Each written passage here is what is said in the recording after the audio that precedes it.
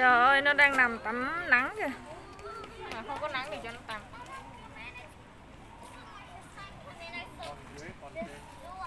Ah, cheetah.